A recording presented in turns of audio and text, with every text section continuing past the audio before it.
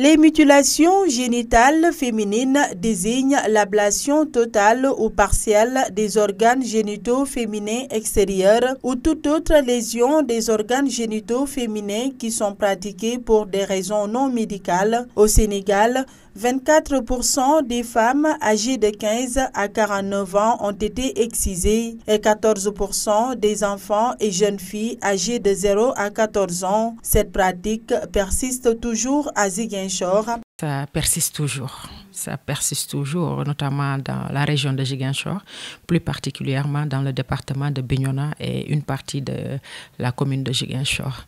Euh, Aujourd'hui, euh, ceux qui le font ont changé de méthode.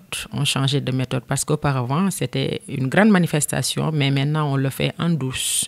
On le fait en douce et de façon discrète. Et ils le font toujours. Elle existe bel et bien.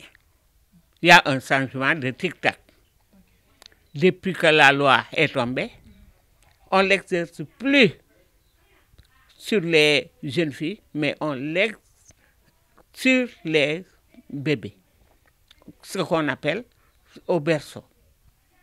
Au berceau, on, le fait. C'est pour cela la santé a changé mon de, de stratégie. Quand tu amènes un bébé, on le déshabille, on le consulte pour voir.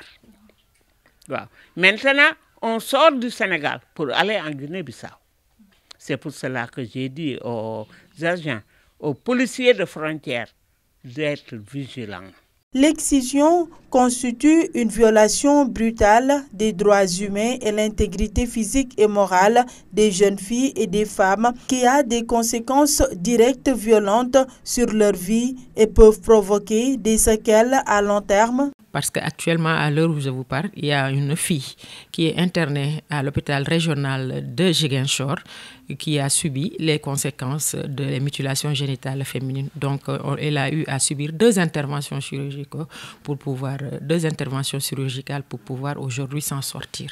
Donc, nous sommes, surtout pour ce qui est de la seconde intervention, nous sommes en train, avec collaboration avec la Badjangor, en train de, de, faire euh, des collectes pour pouvoir payer les, la, la, dernière facture qui s'élève à près de 250 000 francs. Pour freiner ce fléau, la direction régionale de la famille a initié plusieurs rencontres à Ziguinchor avec la participation des exciseuses.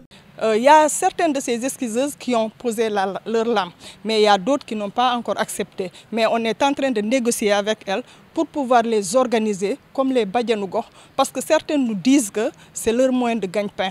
Et puis on sait que pratiquement ça ne peut pas permettre à quelqu'un de vivre. Mais pour ne pas abandonner, elles se disent que c'est leur moyen. Donc nous, pour apporter des solutions, on va essayer de discuter avec elles, de voir quelles sont les solutions que nous pouvons mettre sur place pour qu'elles puissent abandonner cela.